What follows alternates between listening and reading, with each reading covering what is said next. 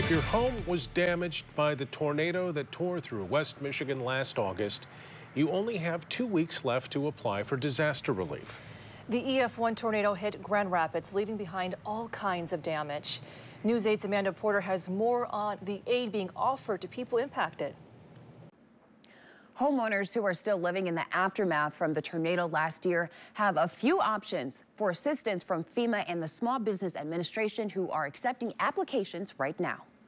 People are still recovering from an EF1 tornado sweeping through Grand Rapids in August 2023, leaving damage in its wake. The Small Business Administration is a resource and recovery partner along with FEMA both organizations honing in on West Michigan residents still recovering from the tornado. Both FEMA and the SBA have uh, a deadline of April 8th for people to make their application to get physical damages assistance. The August tornadoes caused damage to homes and businesses. Shingles loose or missing, trees uprooted, metal equipment crumpled by the 100 mile an hour winds. Impacted homeowners without insurance may still be at a crossroads when figuring out how to pay for their home repairs. FEMA and the SBA have disaster relief aid and disaster loans just for you. The first thing you need to do is go online for an application to disasterassistance.gov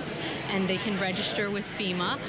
And the next thing that will happen is they will usually get an email saying to apply with SBA. During disasters, the U.S. Small Business Administration makes loans to homeowners and renters. The best part about it is there are no payments and no interest for one year, and the interest does not accrue during that year.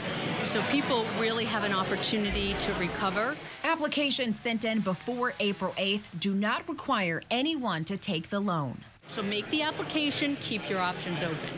FEMA and the SBA have set up aid locations and have been attending local events to get information to homeowners who are still living in conditions that need repair. The loans are 2.5% interest fixed over 30 years.